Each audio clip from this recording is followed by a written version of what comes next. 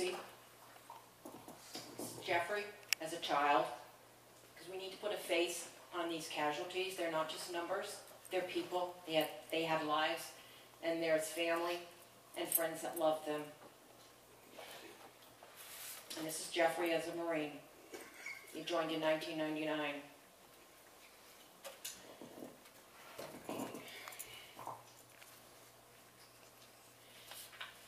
A little over 10 years ago, we had no idea that war with all its insanity would enter our lives and destroy our family as we knew it, that we would watch our child self-destruct before our eyes.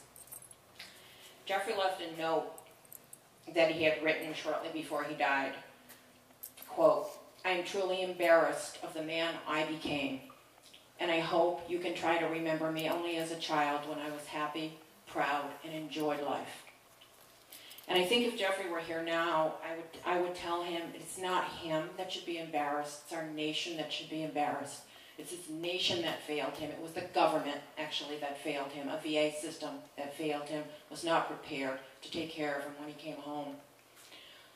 Our family would like to thank Leslie Harris for giving us this opportunity to once again address the invisible wounds of war. Jeffrey's story and others like him need to be told and retold for they are not isolated cases. Our family is representative of thousands of families throughout our country and the world struggling now as we did some nine years ago with their veterans who have returned to them with an injury to their heart, their soul, and their mind. We will live the rest of our lives wondering what we could have done, seeing the dull look in his eyes, the sad smile, and feeling so helpless. The individual who came home to us in July of 2003 was only the shell of the young Marine that left us on that cold January morning six months earlier with the 6th Motor Transportation Battalion. Some of you may or may not have heard of Jeffrey. Over the last nine years, we've spoken out against the war and for a better, more efficient healthcare system, which is the right of every veteran. George Bush's administration accomplished what nothing else could. It made me speak out. Through our anger, grief, numbness, we found our voice, a voice that speaks out because Jeffrey and so many are now silenced. Ten years ago, our then 22-year-old son was in Iraq. It was so surreal. What was he doing in Iraq? He was supposed to be in college, playing basketball, dating his girlfriend of six years. As Dick Cheney put it, when questioned about his lack of military service, I had other priorities. Well, so did my son, and one of them did not include being part of George Bush's rush to war. Jeff entered our lives on March 18, 1981, our only son. At the time, we had no idea that war, with all its insanity, would enter our lives. Nothing in his childhood would prepare us for what we would experience some 20-something years later. He was our impish, brown-eyed boy who loved sports and camping in Maine.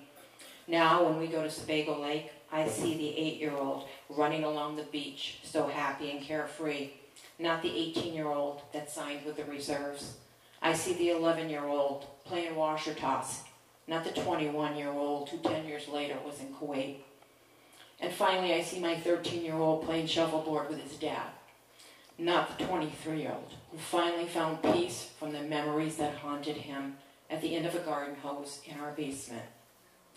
Jeff was recruited aggressively while a freshman in college. He was 18. The year was 1999.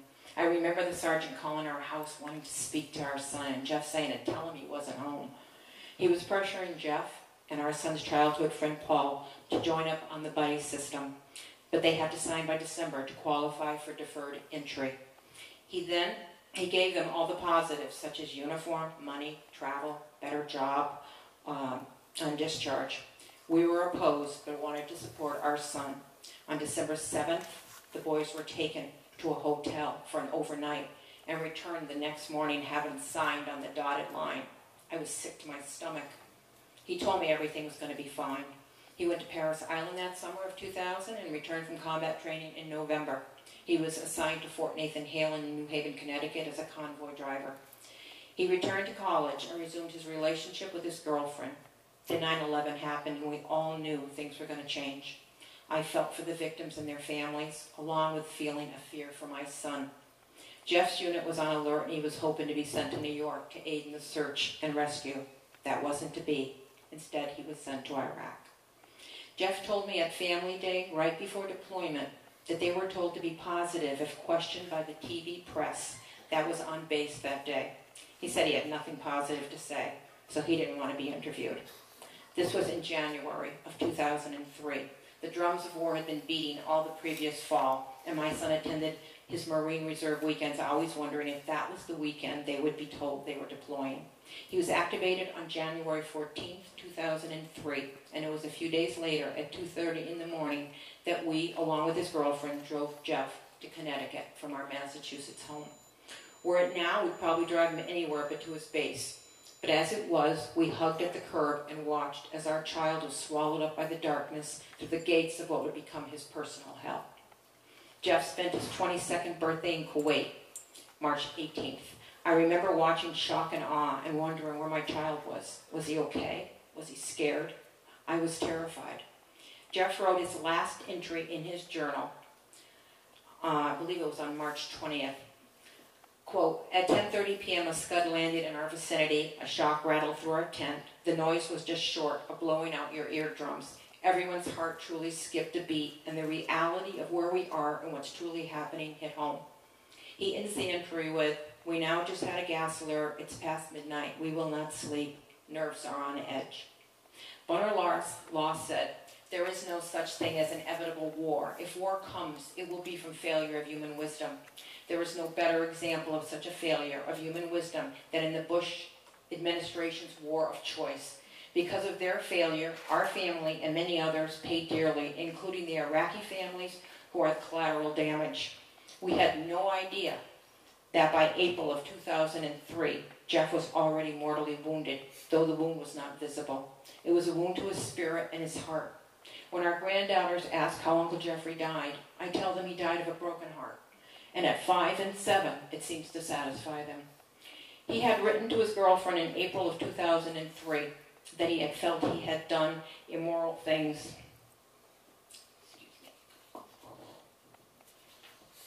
And wanted to erase the last month of his life. Uh, this is just a short piece from that letter that he wrote her. He said, I wouldn't want to tell you or my parents because I don't want you to be worried. Even if I did tell you, you would probably think I'm just exaggerating. I would never want to fight in a war again. I've seen and done enough horrible things to last a lifetime. I never thought that outside of a movie theater I would see what I've seen. Like so many others, Jeff was a weekend warrior, unprepared for what he would face in his tour in Iraq. His humanity would be in conflict with the mission. He returned to us in July of 2003 we all drove down to New Haven to greet the buses, feeling blessed that our child was coming home safe. The tan, smiling young man that emerged from that bus was just a shell of the boy that went off to Iraq. War had robbed him of his innocence and would in 11 months rob him of his future. I'm going to hand it over to my daughter to continue.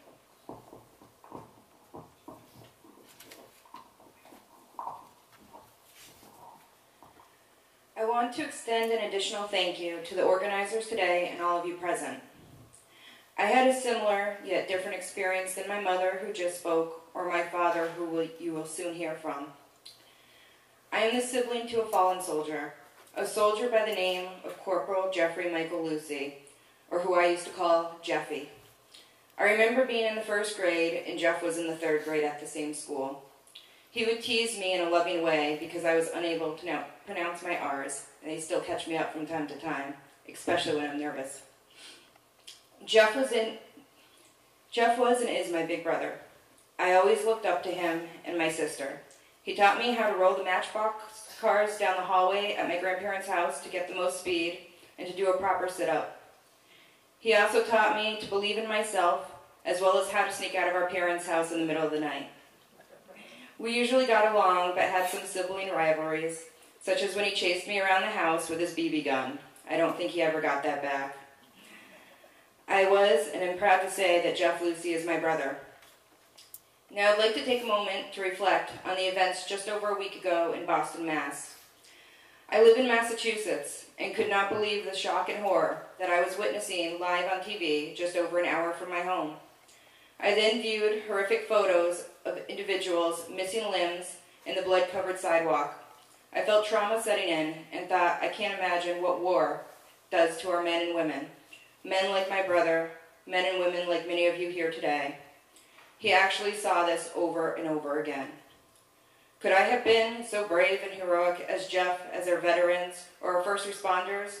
Then I viewed a picture of my friend, Carlos Arredondo, helping save the lives of the wounded. I know Carlos and his wife Melida because he came to the United States to provide better opportunities for his sons Alex and Brian. Alex enlisted in the Marines and sadly passed in 2004 in Iraq. Brian, Carlos's other son, attempted to fight through the grief of losing a sibling, yet succumbed to the pain in December of 2011 and took his own life.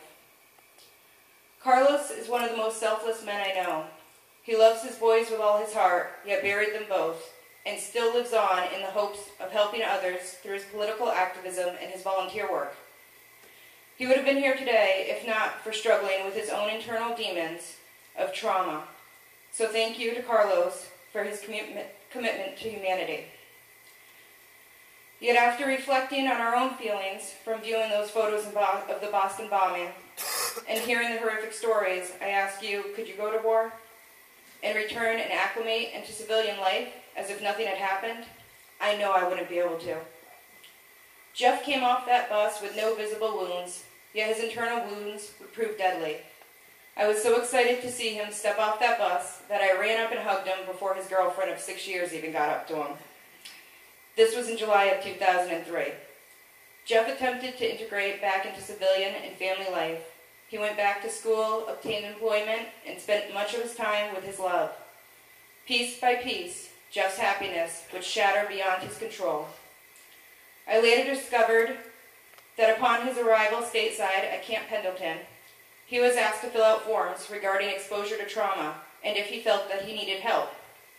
As he was filling out these forms, he was warned if he kept phrasing his answers in such a manner, he would likely remain there to receive the help that he needed, and that would last anywhere from three to six months.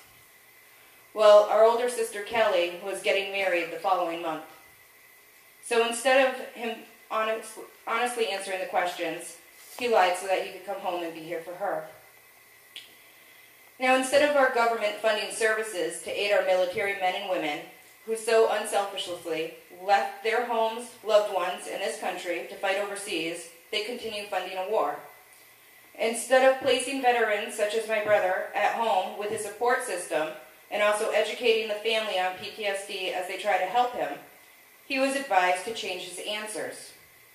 Well, Jeff came home, at least his body did, but his soul died in Iraq. At our sister's wedding, he was drinking excessively. I took his keys from him and drove him home after an argument he had with his girlfriend. The following day, my grandmother stated that Jeff told her that she could never understand that he was around so many people, yet he felt all alone. He appeared distant and quiet. He seemed to avoid social gatherings, which was not my once popular and outgoing brother. On Christmas Eve, Jeff decided not to attend our annual get-together at my grandparents' house. We were all concerned, but Jeff wanted us to go and didn't want to ruin our holiday. So with an uneasy feeling, we reluctantly left him alone. I left my grandparents' house that early that day, a couple hours later, to check on him, and he was intoxicated.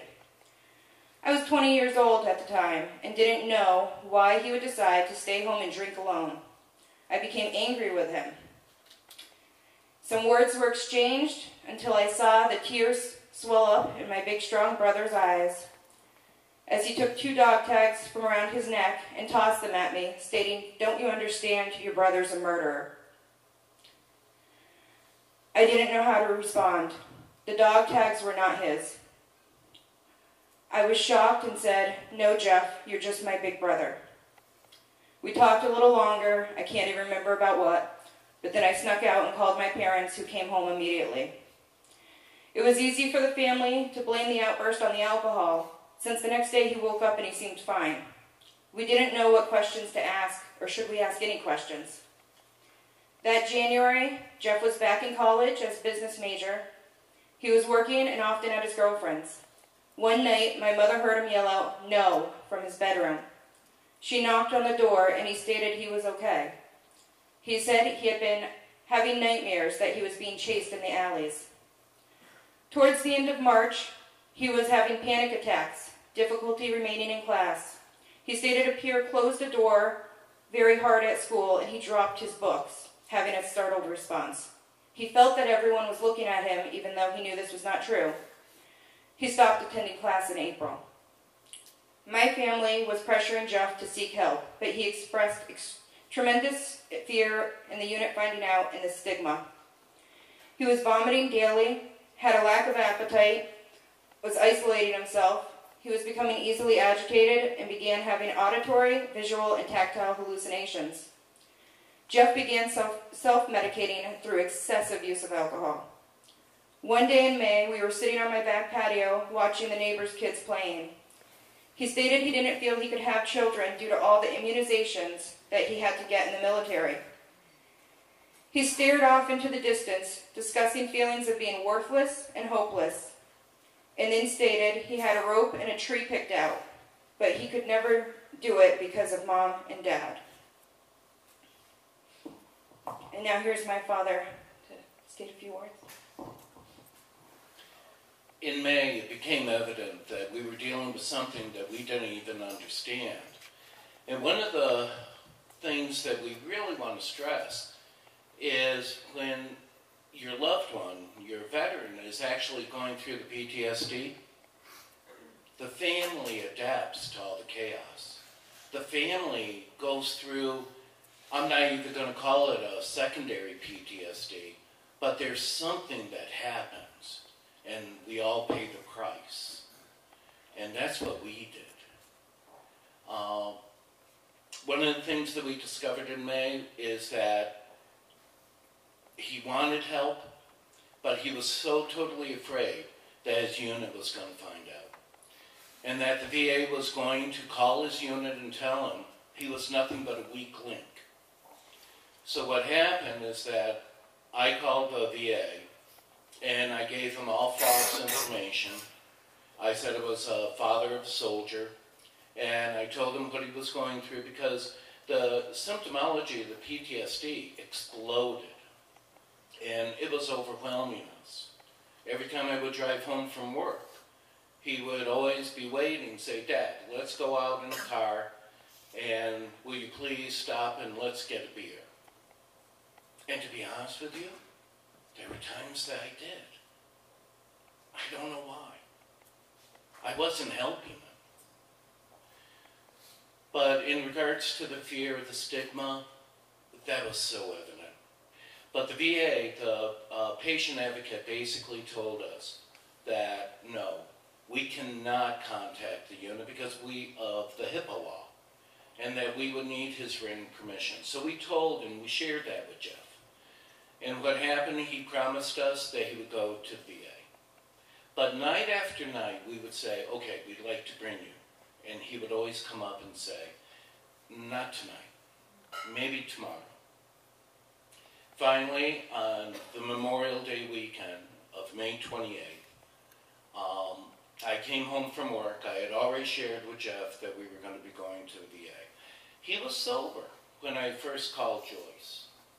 Um, and he was ready. And his girlfriend had come over, but somehow, some way, he got alcohol. By the time I got home, he was having a serious problem, and I told him that we had to go, and he finally agreed.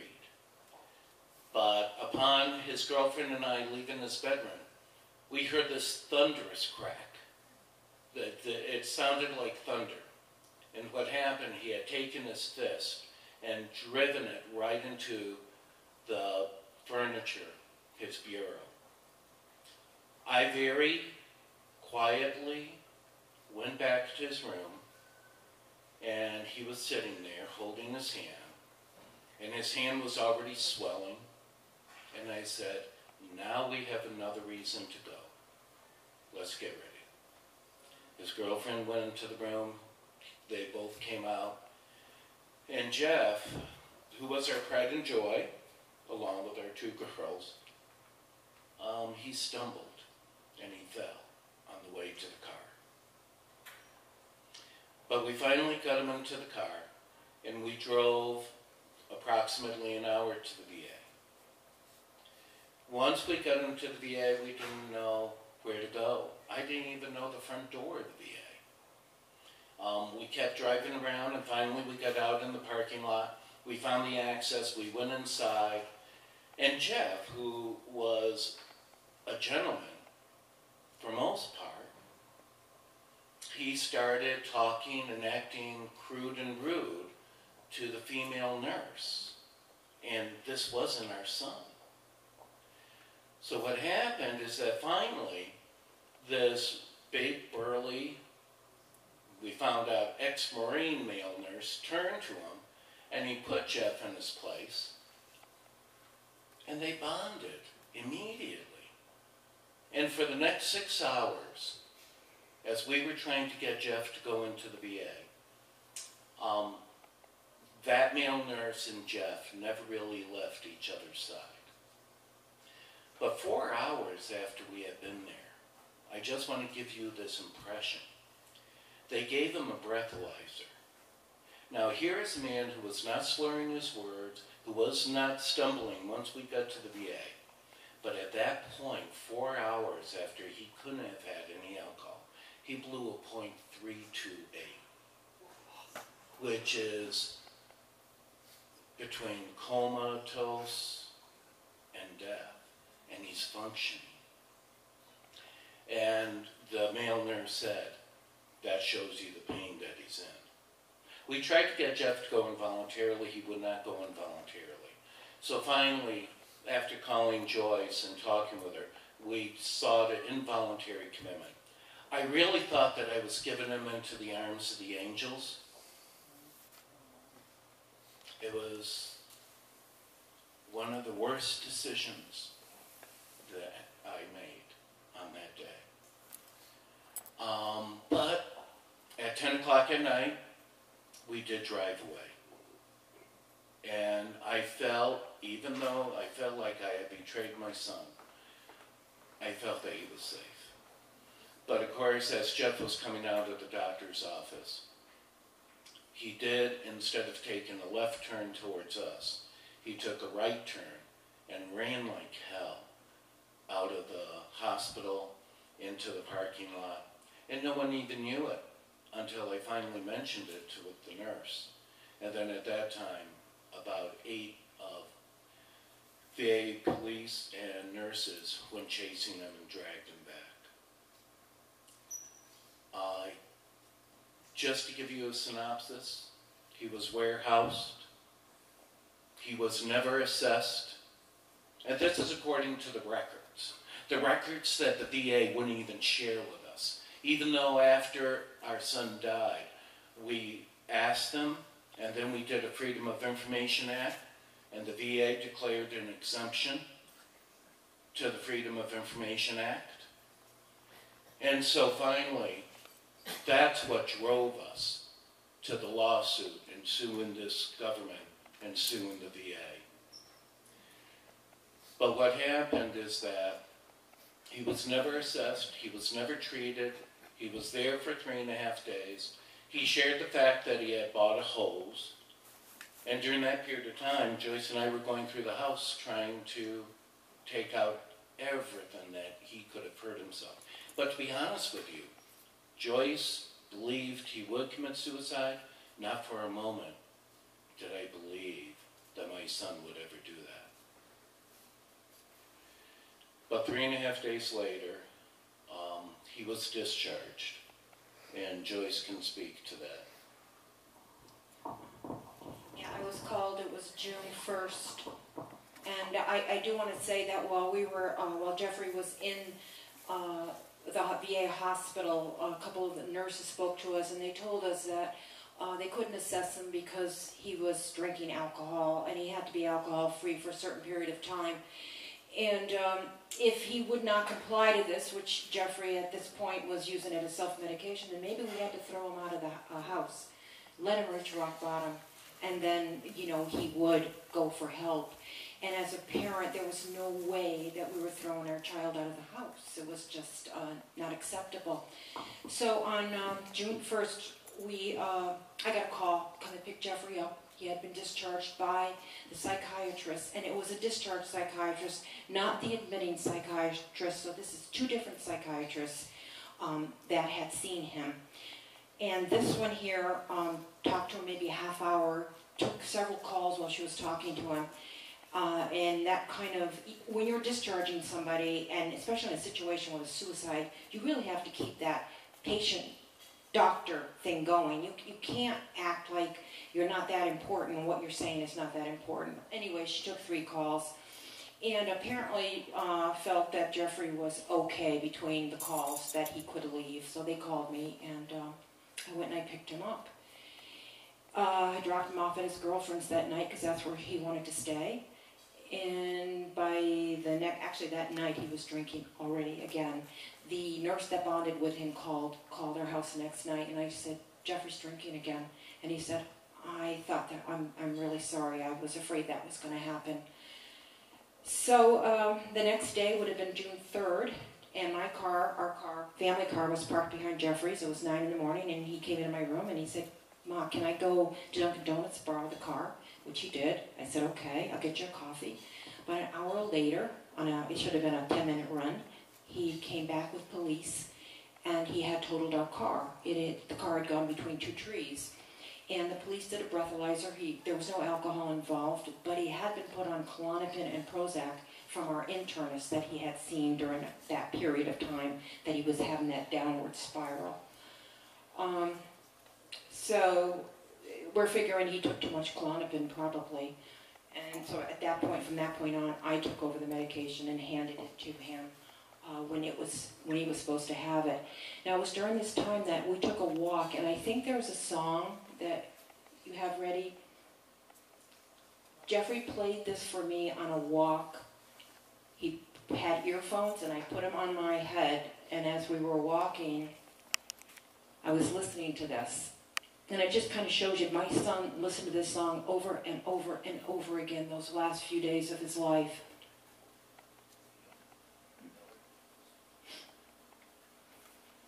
It is 45, right? It is 45, yes. Yes. And his girlfriend was trying to get him to come out of the room. She said he was just laying on that bed, staring up at the ceiling. And he would not, he, he just couldn't come out. When he did come out, she said he was sitting on the deck and their tears were just pouring out of his eyes. And uh, it was hard for her to understand. She was 22 years old. And, you know, they had been going together since they were 15 and 16.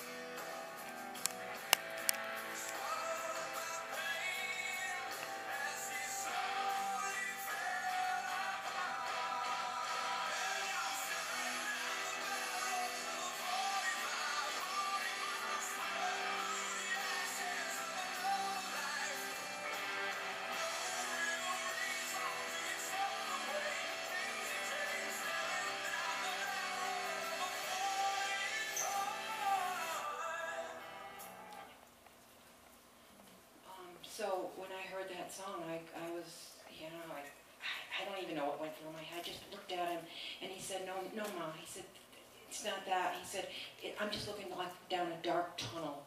And, um, and I don't know, I didn't say anything. We were on the walk, we had our beagle with us. And I just kind of, you know, I, I look back and I say, where was my head? I should have been like saying, what, what, are you thinking of harming yourself? Are you, and I didn't. And I look back now and I, I don't know. And the next day, Jeffrey was okay. And this is what we were doing. He was bad and then he was okay. And as a parent, you don't want to rock that boat because you don't know if you're going to say something and then you're not going to know how to, how to handle it. You know, you're gonna open that can of worms. And I had a son that was sitting on a deck, staring out in the woods and telling me that he saw families that were killed. And they were just trying to get back to their house. And, and he wasn't really talking to me. He was just staring. And it wasn't like my son, it was monotone. Um, but,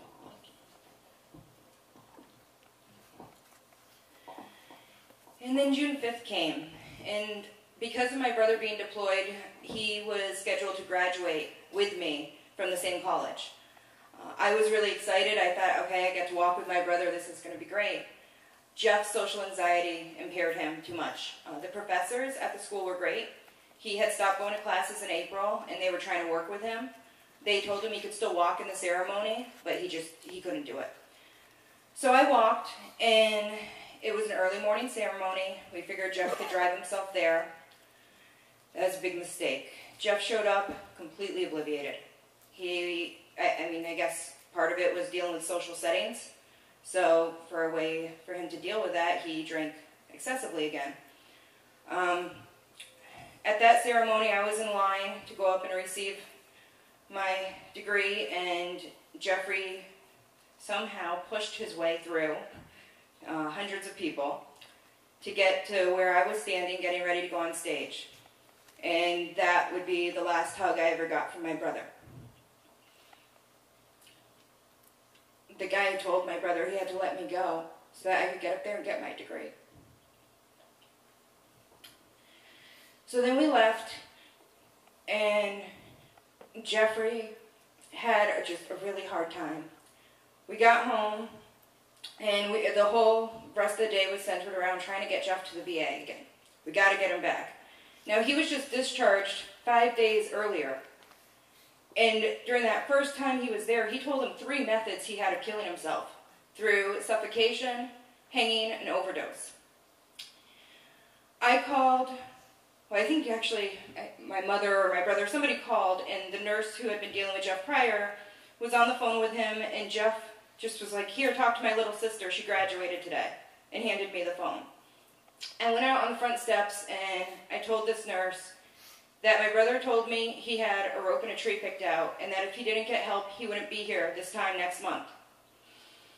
Unfortunately, I was right. He wasn't here a month later. Jeffrey, he told me just to get Jeff to the VA and that they would take it from there. Jeffrey agreed that if I hit the wiffle ball 10 times, he would go to the VA. So we went in the backyard and started a game of wiffle ball he used to be such a avid baseball player and now he was trying to pitch me the ball and it was going everywhere i mean it was like bowling it was to the right i think i ran and hit it three times and i just said okay jeff that was 10 and he was so out of it that he believed me. He put his head down and just kind of slowly walked to the car. He did make a point that dad couldn't go because last time he was involuntarily committed. So my grandfather and my brother-in-law sat up front, and the last time that me, my brother, and sister would share the back seat of a car, my sister sat on one side and I sat on the other, so he couldn't jump out of the car while it was moving. Um, we got to the VA, and they, Jeff wouldn't go inside. My sister was panicking, uh, in tears, back and forth, worried they wouldn't take him in. They didn't take him. They didn't involuntarily commit him. Jeff wasn't in a rush to leave. He sat there talking to to the staff for a while. And the staff member asked him if he got rid of the rope yet. And Jeffrey's response was, shut up, shut up, shut up. And he just kind of waved his hand at him. And that was it. The subject changed. Uh, eventually the guy said, okay, well, Jeff, if you're not going to come in, we got people in there we need to deal with. And, that, and Jeff was, he was just like, okay. And he slowly walked back to the car. Um, I called my parents and said, I can't believe it, but we're taking him home. And the mad dash around the house trying to hide anything again, look for anything that he could hurt himself with, knives, medication. Um, the dog leash was hidden. We didn't know that he had bought a hose, which he had told the VA prior. Um, and so that was June 5th. We took him home and back to my parents.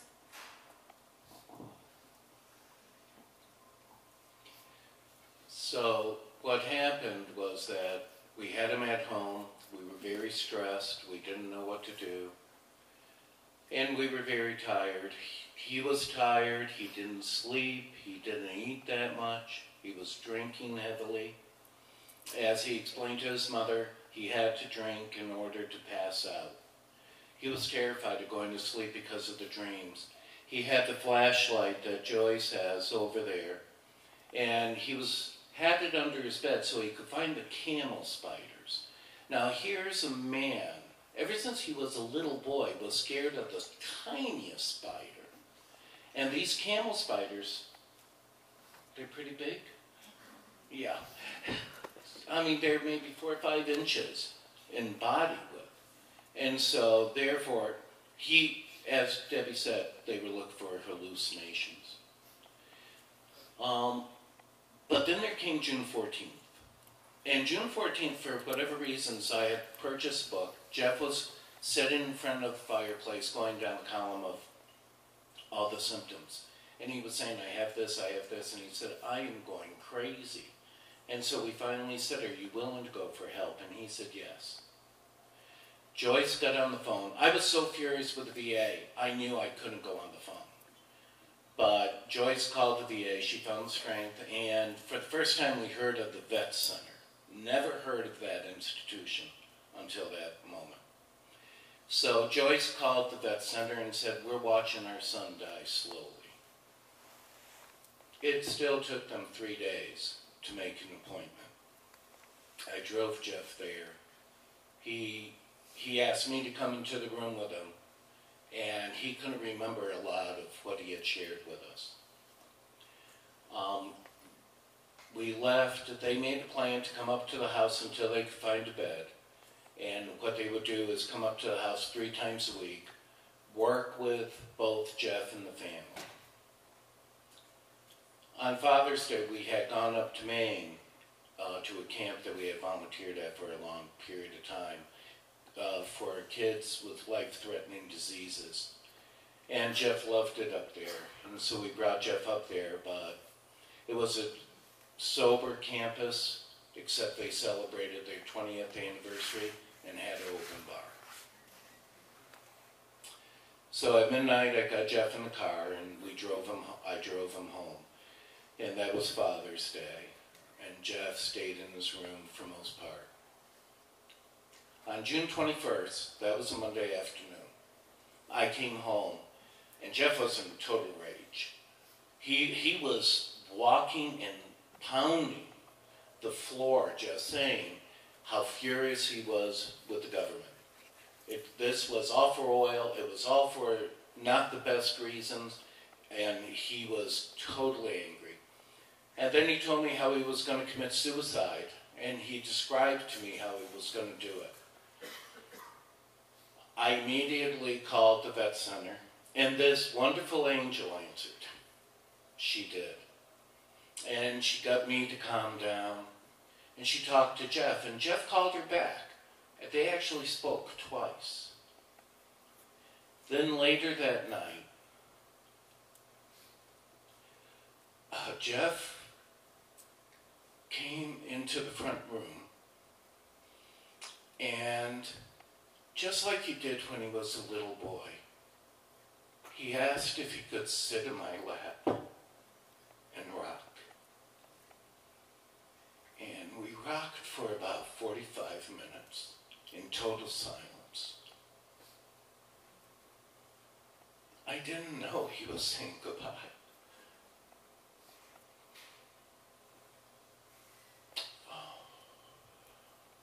Anyways, um, we both got up. I stayed up to about two o'clock to make sure Jeff wouldn't wander through the house.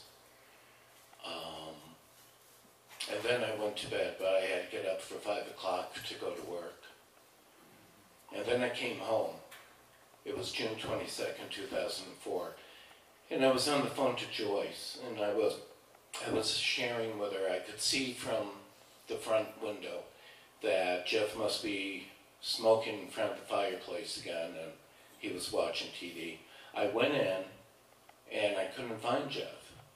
But one of the things, the dog tags that Debbie spoke about, uh, Jeff never took off those dog tags. And even his girlfriend had commented on them. And so what happened is, when I went into his room, I saw the dog tags neatly laying on his bed. These are the dog tags that Joyce wears now, every day. So I went out to the porch and went out to the backyard. But then when I was going past the cellar, I saw a light on and I saw a shrine. That's the only way to describe it. It was uh, family pictures. But his platoon picture was in the middle. So I went downstairs and I, my focus was on the pictures. And as I said, his platoon picture was in the middle, but it was had blood on it. And then he had family pictures in a semicircle. And then that's when I saw Jeff from the corner of my eye. I thought he was standing. But then I saw the hose around his neck. I ran over there and he was in my lap for the final time. And I gently lowered him down to the ground. And that is Jeff's story. It, it's a story, though, that we need to emphasize. That right now, and I think Chaz refer, referred to it, according to the most recent documents, and the VA only started counting suicides about two years now. Nobody counted the suicides beforehand. See, they were the unknown, the unacknowledged, the uncounted. But now they're estimating 22 veterans a day, a day, are committing suicide. A veteran kills themselves every 65 minutes. And that's conservative, and we want to stress that. Because there are many deaths that occur single car accidents, overdoses, accidental overdoses. We're afraid that that number is way too small. But we also know that there are families that are going through this. And we also want to share this is not an American problem. Since Jeff died, we've had the Russians, the Germans, so many people from Iran, from so many countries have come and they've done documentaries with us. And they're telling us, the Russians were saying they have a horrible PTSD problem. And they're trying to learn. Regretfully, we can only say that our government, first of all, never prepared. They wanted to go to war so badly, but they never prepared to deal with the wounded. They never prepared the healthcare system. The healthcare system is a broken, dysfunctional system based on our experience. And to pour money into a broken hole, they need to revamp this. They need to talk to veterans and they need to talk to families like ours in order to establish that which needs to be done. Thank you.